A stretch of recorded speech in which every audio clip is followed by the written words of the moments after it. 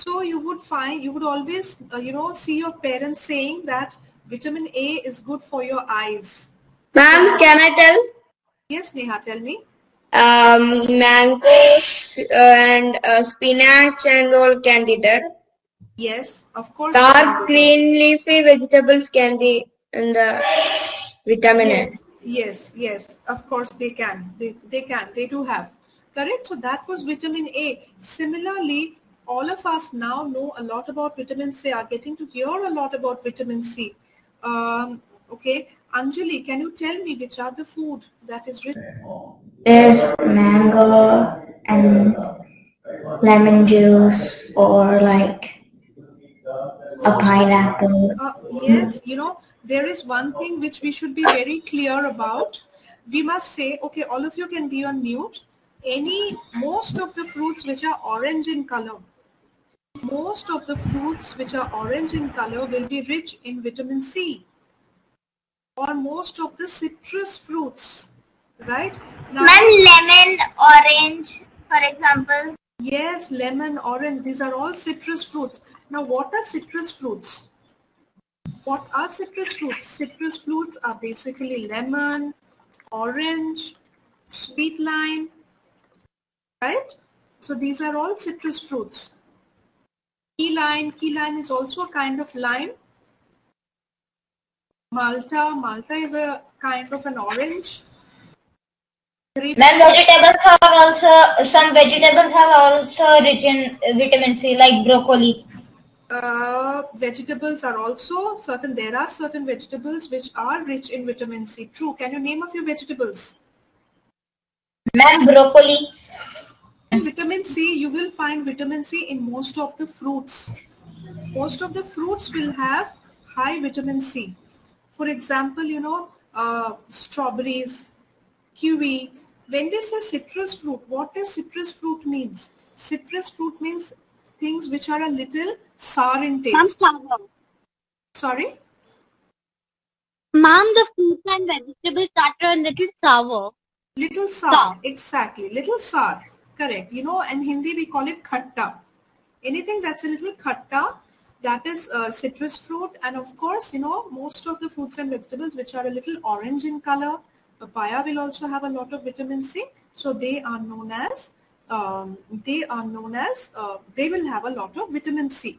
Ma'am, uh, you have shared the notes. Now, in that uh, citrus fruit, lemon, orange, sweet lime, and key lime. What's that? Key lime is this is a kind of lemon only. Okay, then Malta. Malta is a variety of orange. Okay, ma'am. Yeah, these are all variety of orange which you get in different parts of India, different parts of the country, right? You would be surprised to know that there is a kind of orange which is known as grapefruit. The name is a grape, but actually it is a kind of orange. It is known as grapefruit, but it is an orange. Okay. All right. Now going to the next slide. Now we will study one by one.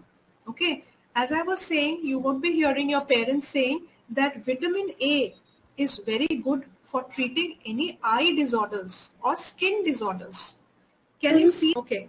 All right. So, uh, you know, when we say vitamin A, right, vitamin A is basically beneficial for eyes and skin. Vitamin A, whenever we say, that means it's eyes and skin. Most of the people, most of the children who do not eat much of carrots, who do not eat much leafy vegetables will have a problem with their eyes. Anyways, you know, all of you are exposed so much to the laptop, computer, TV, mobile, so many online classes and so much happening. So you need to have an extra dose of vitamin A. What happens, and you know, not only eyes, apart from eyes, there could also be problem with the skin. There are so many kinds of skin disorders, skin problems. So when we say vitamin A, it is, you know, very good for our skin, very good for our eyes. If one does not have vitamin A or deficient in vitamin A, they might have eye problem. They might have to wear specs. They'll have high power. And, you know, they might have inflammation, inflammation in They the will have night blindness. Yes, they might have night blindness. you know, when it's dark or when the light is less, they cannot see. They cannot, they will not be able to see properly. Right? In even in the skin, there would be a lot of lot of itchiness in the skin. The skin might be inflamed. So one needs to have good amount of vitamin A. Correct? Now we come to vitamin. Um, we, we will go in details about the different kinds of vitamin B because there are many types of vitamin B. First, let's see what is vitamin C. Vitamin C is basically, uh, you know, it, it helps to strengthen, it helps to strengthen our immune system. That's the reason why, you know, doctors have been saying that during the COVID-19 time, you need to have a lot of uh, vitamin C. Your immunity, your immune power has to be very strong. What does immunity mean? we have, you know, a lot of white blood cells in our body which fights against germs. If we have a dirty water, you know. Ma'am, can I tell? Yes, Pragya, tell me. Ma'am, immunity is somewhat like a barrier for our body that protects us against diseases and infections. Very good. Excellent. That is the exact answer, Pragya. Very good. So basically it is like can I give an uh, fun example about the vitamin C? vitamin C. Okay, yeah, tell me. Okay, it's like uh, how uh, the Indian Army is against protecting our country from the uh, China. Ex- excellent. Why only China? You know, it could be any country, any invader. For example, if there is a germ, if there's a bacteria, or if there is any disease which is waiting to attack us, you know, so this immune system of our body are like soldiers with guns in their hand. If your immune system is strong, it will shoot out all the bacteria, germs, which are like enemies to our body.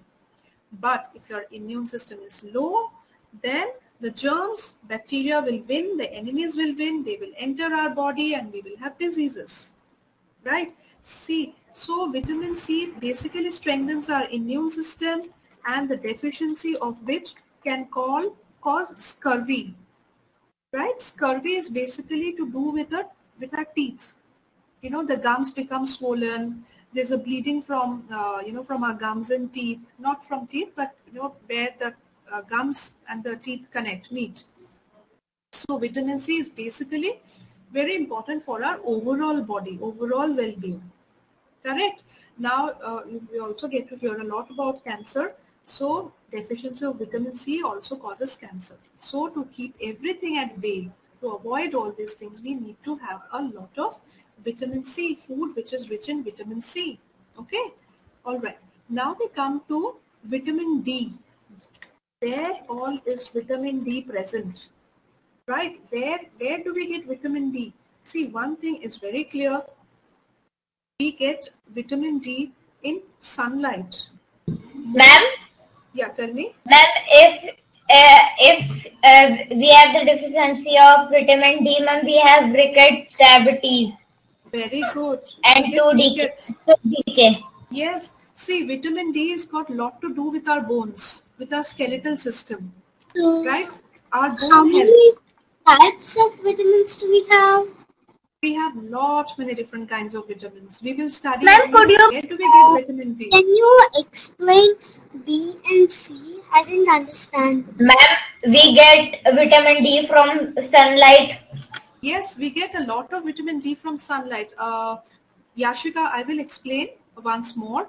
Um, okay, vitamin C is basically you get it from citrus fruits, what we were discussing before. You get a lot of vitamin C from citrus fruits and orange colored fruits and vegetables, right? You get vitamin C. And in case you do not have vitamin C, you might have scurvy. Scurvy is the. Uh, citrus fruits. Citrus fruits, just refer to point number six here in the shared notes. Citrus fruits are basically lemon, orange, you know, and the family of fruits, which are a little sour to taste. Most of the orange color fruits are vitamin C. We must have them to strengthen our immune system. Feedback, please delete it. Yes. See, because these are the fruits which are rich in vitamin C. Citrus fruits are rich in vitamin C. You get a lot of vitamin C in Ma'am, I citrus fruits. deleted it. Okay. Someone was writing. Okay, so you get a lot of vitamin C in citrus fruits. That's the reason why these are called citrus fruits. Just remember C for citrus, C for vitamin C. That's why Ma'am? fruits- Uh, vitamin D um, cause uh, if the lack of vitamin D causes rickets. Yes, it does. You know, somebody has deleted it, you know, even the vitamin D part. Ignore it. I'll retype it once more. Not an issue. So we come back to vitamin D. Vitamin D we get from sunlight. We get vitamin D from sunlight. That with vitamin D, bone health. Yeah, thank you, Darshil, for reminding me. I will write that again. So we get vitamin D basically from sunlight and also from sea fishes. Sea fishes are very rich in vitamin D. Name a few sea fish. A few, sea- few sea fish would be tuna, Ma'am, salmon, yes, mackerel. These are all sea fishes. Um, so we can take the uh, liver cod oil of the uh, uh, fishes. We will we are able to get it in the market. The uh, capsules from fish uh, ship, uh, uh, fish liver oil. Yes, Neha, you're right. And uh, you know that cod liver oil you're referring to is very rich in omega-3 fatty acids, which also is help, uh, which also helps to build our immunity. Yes, Right? ma'am. It is very good. It is a rich source of vitamin E as well. Yeah, So, I'm having it.